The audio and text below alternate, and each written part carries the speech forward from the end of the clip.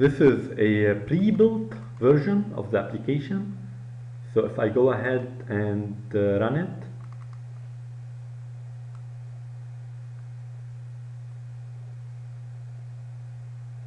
now an identity matrix contains all zeros except on the diagonal. So here, when we generated this identity matrix of size uh, 4, we have uh, ones on the diagonal and uh, zeros everywhere else.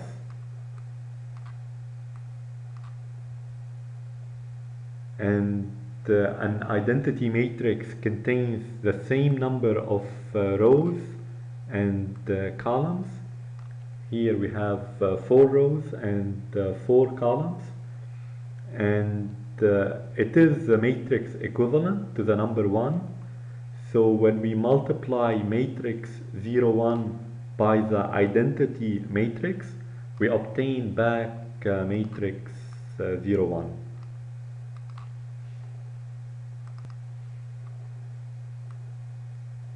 Next, when we uh, transpose a uh, matrix, what we do is to flip that matrix along the diagonal so the rows become columns and the columns become rows.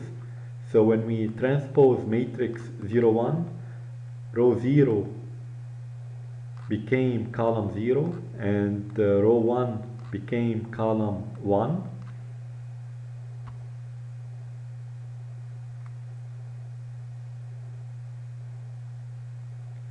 And uh, the dot product happens between uh, two vectors. So, uh, and a vector is a special case of a matrix containing a single row or a single column.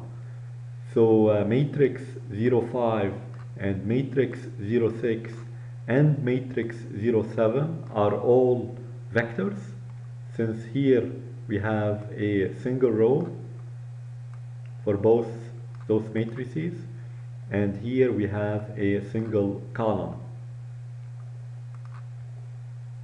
So the way we do the dot product is uh, minus 4 times minus 1 plus 1 times uh, minus 4 plus minus 1 times minus 1 plus 1 times uh, 1 and this gives us uh, 2 and uh, here we do uh, minus 1 times minus 1 plus minus 4 times minus 4 plus minus 1 times uh, minus 1 plus 1 times 1 and this gives us uh, 19 I will uh, start by uh, creating a new project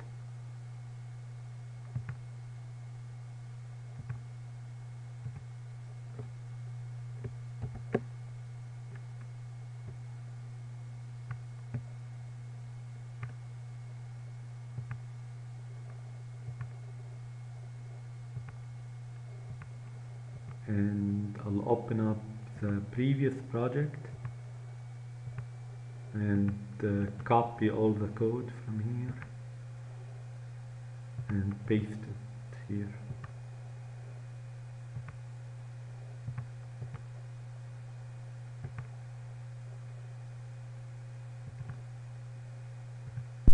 Now uh, here I will uh, start by uh, adding a uh, new constructor that uh, returns a new matrix given the passed in number of uh, rows and uh, columns. And I will uh, make use of that uh, constructor in this uh, static method that uh, returns a new identity matrix given the size of that uh, matrix. So I'll instantiate that uh, new matrix having the same number of rows and columns and it will have uh, zeros everywhere except it will have uh, ones along the diagonal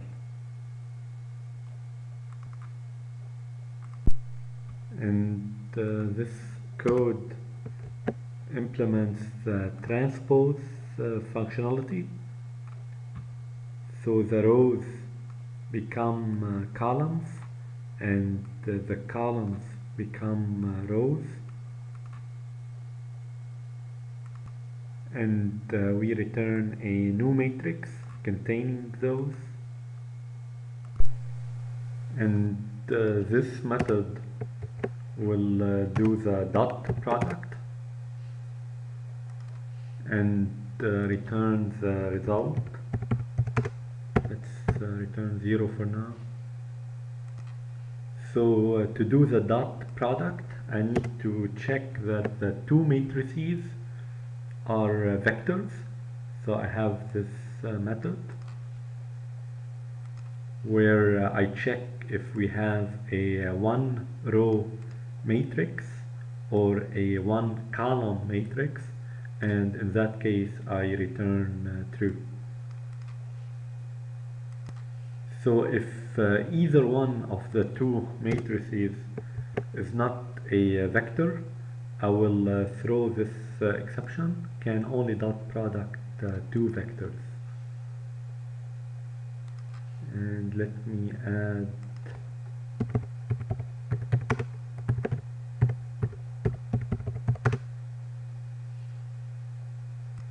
and uh, both vectors need to be of the same size.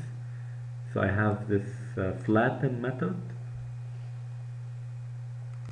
that uh, flattens the two-dimensional uh, array contained in this matrix into a uh, one-dimensional array and uh, returns it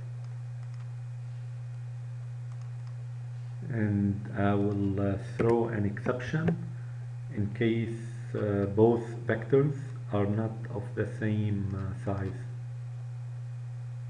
So both vectors must have same size. Otherwise if we have uh, two vectors of the same size then uh, this code will uh, do the element uh, wise multiplication and add the results and uh, returns it.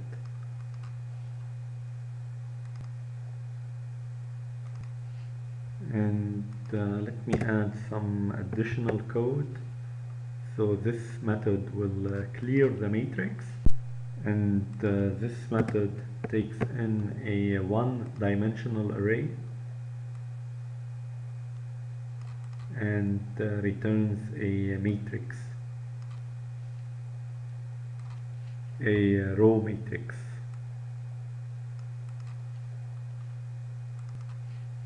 and uh, this method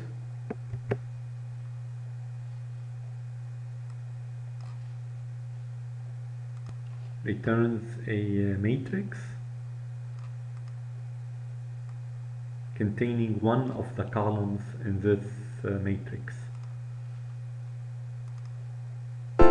And uh, finally let me go to the driver class and add the code that would uh, test the identity matrix and the transpose matrix and the dot product between two matrices functionality.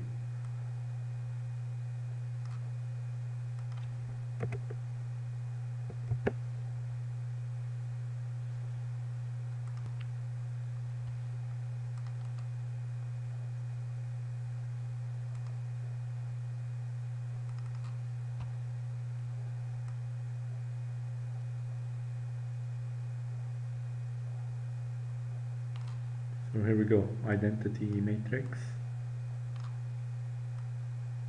and transpose matrix and dot product between uh, two matrices.